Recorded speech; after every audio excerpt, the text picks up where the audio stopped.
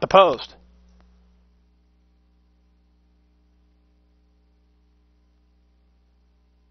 And they're off to a level beginning. Toward the inside, Dramatist begins nicely up on the outside. Here's the gray. Do the roar up to challenge. Raisback is there, and Centard from the inside is Gukumats. These three are quickest with Do the Roar in front today, in front of half a length from Raisback. Second, Gukumats is now third. From between horses and racing fourth, Acapulquito with Sneaky Kitten on the outside. Saving ground is Dramatist in front of All About Diva, who's off the speed. Ultimate Choice is next, and Smoky Bird is the trailer as they run around the far turn.